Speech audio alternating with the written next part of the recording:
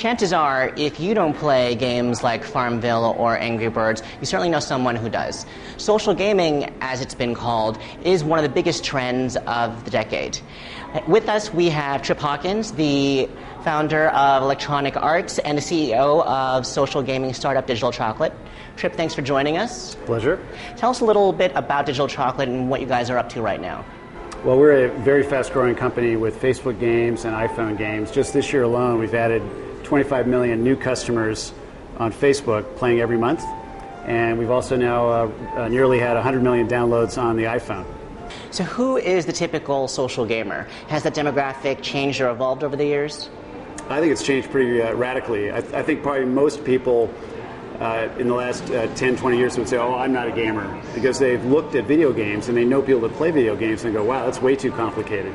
Whereas uh, these much simpler casual games or mobile games, or in some cases uh, these uh, you know, hot new games on a platform like the iPhone, with a product like the iPhone, you have people that get a mobile phone and then get excited about the content that they can reach through the App Store or through their browser.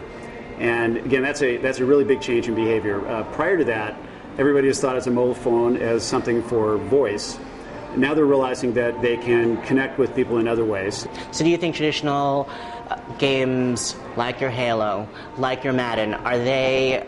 Do you think they'll become a relic of the past? Do you think that social gaming really is sort of the predominant future?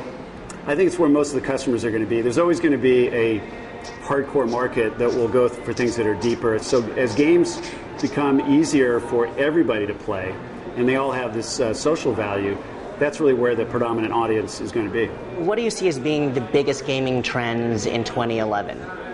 Well, uh, Facebook, I think, is going to get back on the gas pedal and be a growth platform for games. Uh, they were in 2009 like nobody's ever seen.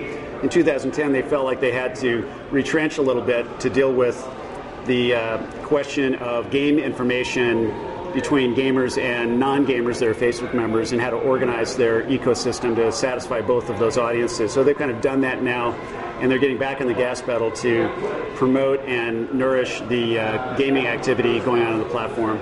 Uh, Facebook will be probably expanding soon to a billion members, so there's really never been a phenomenon in, uh, in the history of media like Facebook.